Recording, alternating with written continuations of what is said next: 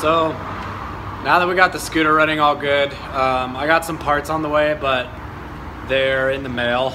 Uh, the guy who was gonna send me the key ended up wanting to like not even ship it out until next Monday. So I mean, whatever. It's the only one I could find. So the fact that I could even find one is cool. I'm grateful for that.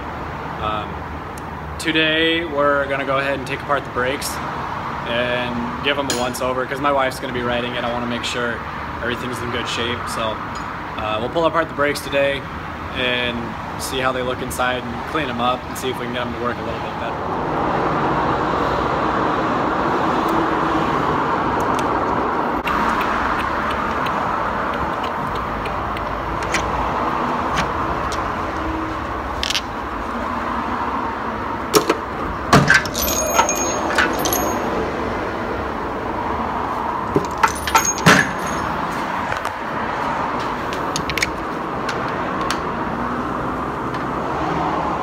This one's uh, 14 on this side.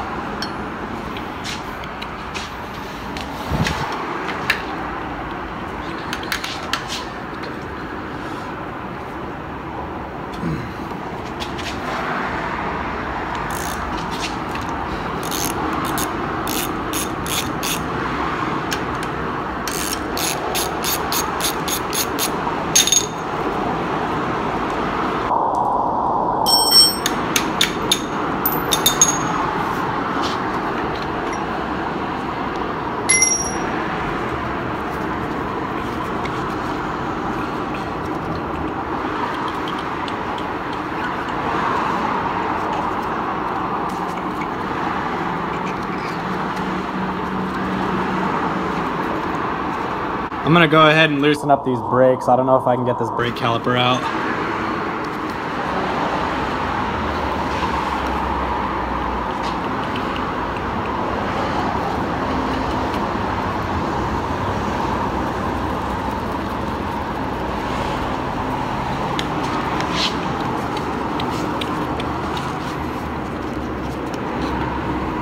There we go.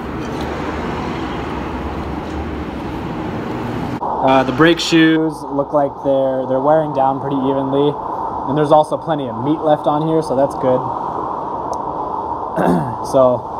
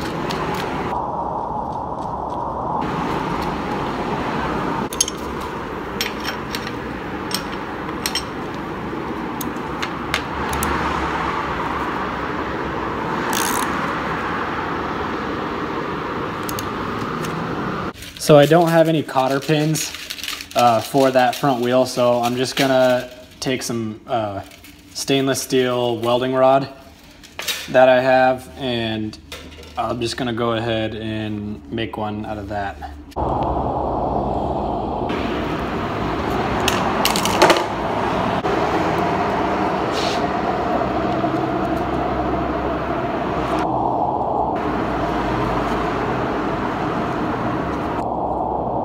I'm gonna go ahead and uh, readjust these brakes and take a burst spin and uh, see how well it stops.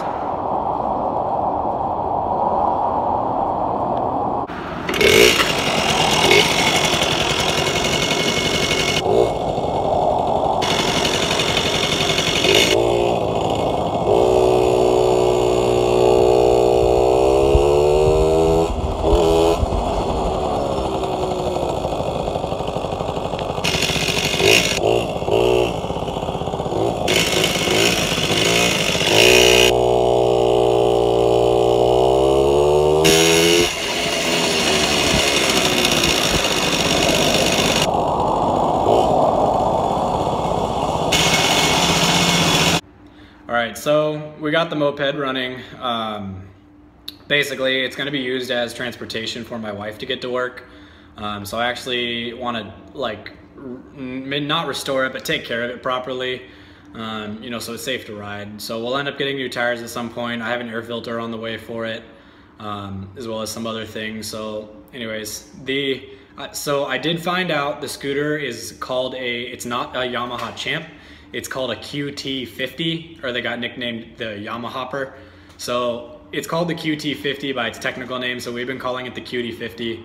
Um, so, anyways, so there'll be uh, some more work on it in the coming videos.